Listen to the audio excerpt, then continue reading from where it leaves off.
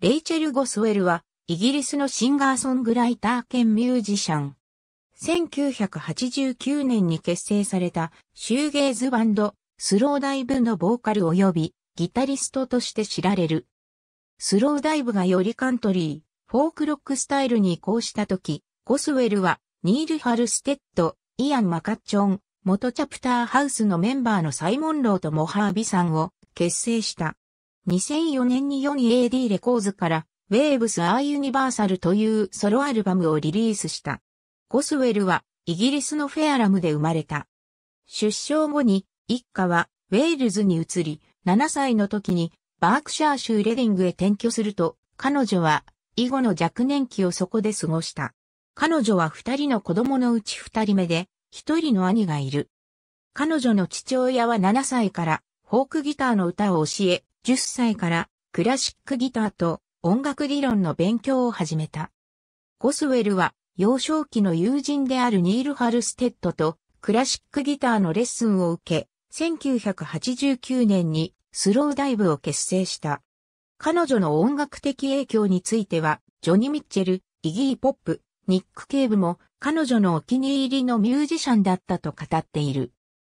2017年カリフォルニア州オークランドのフォックスシアターでスローダイブとゴスウェル・ゴスウェルはレディングでいくつかのカバーバンドで演奏した後にインディーロックバンドザ・パンプキン・フェアリーズをネイル・ハルステッド、エイドリアン・セルとニック・チャップリンとで1988年に結成した。ザ・パンプキン・フェアリーズが1989年に解散した時、同年に同じメンバーがスローダイブを結成した。ゴスウェルはバンドが解散する1995年までスローダイブのメンバーだった。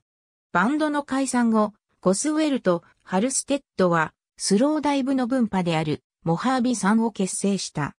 このグループはスローダイブのシューゲーズサウンドとは対照的によりフォークロックよりのサウンドを追求していた。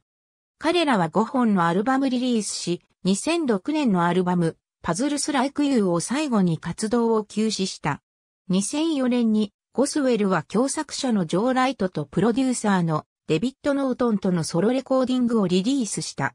モハービ3が Spoon and Rafter をリリースしてから9ヶ月後、ゴスウェルはザ・スリープ・シェルター EP をリリースした。彼女の最初のフルレングスのレコーディングである Waves Are Universal は1ヶ月後にリリースされた。ウェブマガジンであるタイニーミックステープスは時折アダルトコンテンポラリーを率直に反発する世界に向かっているにもかかわらず、このレコードを繊細でよく考えられたと表現し、ピッチフォークメディアはアルバムが暖かく、そして夏らしい。あまりエキサイティングではないにしても、心地よいと考察した。スタイラスマガジンは Waves Are Universal をゴスウェルの前作のファンとそうでないの両方にアピールできる堅実なアルバムであると述べている。2005年2月、コストライン、プラクトというタイトルの限定版リミックス12が発行され、ザ・アリーズとウルリヒ・シュナウスの2つのミックスが収録されている。2014年、スローダイブはゴスウェルと共にギグのために活動を再開し、インタビューで彼らが新しい音源に取り組むことを宣言した。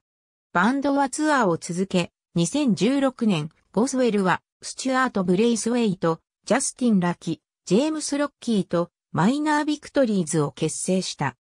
彼らのセルフタイトルでのデビュー作は2016年に、ファット・パッサム・レコーズからリリースされた。ゴスウェルは1994年から2000年までエアーキューバのクリストファー・アンドリュースと結婚していた。ゴスウェルは2006年に発生した迷宮炎の結果、部分的に耳が聞こえなくなってしまう。これにより、片耳に慢性的な耳鳴りが残り、一年間理学療法を必要とする必要があった。その結果、ゴスウェルはモハービさんでのバンド活動及びツアーを停止する必要があった。2010年、ゴスウェルは、チャージ症候群の息子、ジェシーを出産した。ジェシーは重度の聴覚障害があり、深刻な心臓病を患っており、生後5ヶ月で、会心術を受けた。ゴスウェルは、イギリス手話を学んでおり、聴覚障害児の親が手話を自由に学べる権利について声を上げている。2013年10月、イギリス議会において NDCS の主導する討論が行われ、レイチェルとジェシーの両方が言及された。レイチェル・ゴスウェルの1993年のスローダイブのギターリグは、フェンダー72テレキャスター新ライン、ボス OD-2 ターボオーバードライブ、ヤマハ FX-500 マルチエフェクター、ローランド JC-77 ジャズコーラス 2X10 コンボアンプで構成される。2014年のスローダイブの再結成以降、レイチェル・ゴスウェルのツアーでのメインギターは、カスタム77ザ・ロキシー・ホロバーティを使用している。ありがとうございます。